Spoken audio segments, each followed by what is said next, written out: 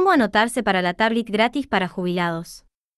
Jubilados, monotributistas y beneficiarios de programas sociales como la Asignación Universal por Hijo podrán tener una tablet gratis a través del programa Conectando con Vos. Se trata del convenio entre la ENACOM y las jurisdicciones provinciales, municipales, asociaciones civiles, redes comunitarias y otras entidades intermedias, que estará vigente hasta abril del 2023 para reducir la brecha digital y democratizar el acceso a la tecnología.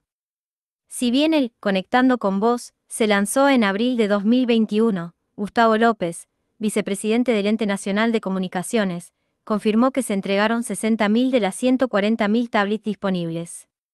Por eso que incentivó a los beneficiarios del programa a inscribirse. Tablets gratis para jubilados, monotributistas y AUH, cómo acceder al beneficio. El programa, Conectando con Vos, del ENACOM no cuenta con un periodo de inscripción, ya que los beneficiarios de este son determinados de forma articulada con las distintas instancias municipales, provinciales y jurisdiccionales. Las jurisdicciones provinciales, municipales, asociaciones civiles, redes comunitarias y otras entidades intermedias deben inscribirse en el ENACOM y pedir la cantidad de dispositivos que necesiten entregar. Para conseguir una tablet gratis, los beneficiarios del programa deben solicitarla en los municipios o dependencias provincias. De esta manera, el Ente Nacional de Comunicaciones se asignará las tablets según la disponibilidad de equipos. Cada beneficiario recibirá una tablet y deberá firmar un contrato de adhesión al recibirla. Cuando ese organismo entregue todos los dispositivos debe avisar en su página web que no hay más unidades disponibles. ¿Quiénes pueden acceder al Conectando con Vos?